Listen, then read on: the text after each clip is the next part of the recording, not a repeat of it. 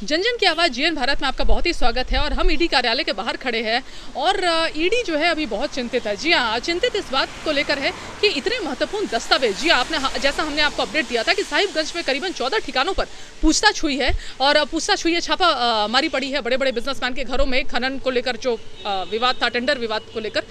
तो आ, उनके घरों से इंक्रीमेंट दस्तावेज़ मिले हैं। जैसा हमने आपको बताया था इंक्रीमेंट दस्तावेज़ होते हैं मतलब आपत्तिजनक दस्तावेज़।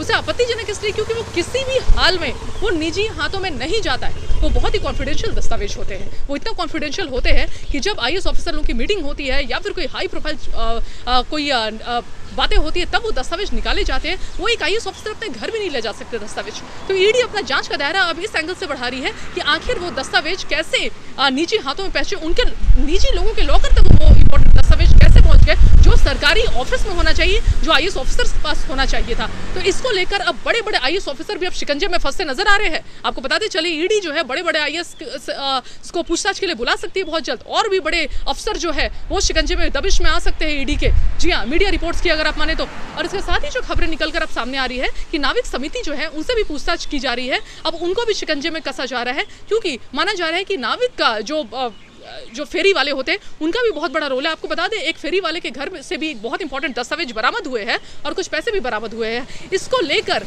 और भी जो फेरी वाले हैं, उनसे पूछताछ करेगी ईडी और नाविक समिति भी अब रडार पर आ चुके हैं।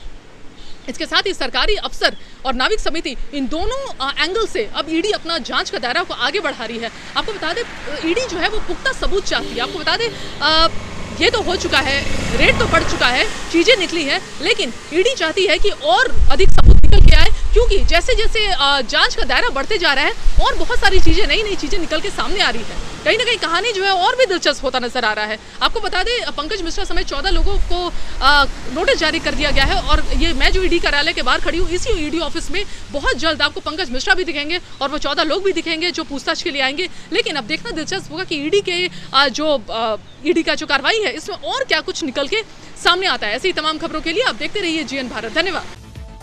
अपने राज्य से जुड़ी हर ताज़ा खबरों के लिए आप हमें सब्सक्राइब करें, साथ ही बेल आइकन बटन दबाना ना भूलें।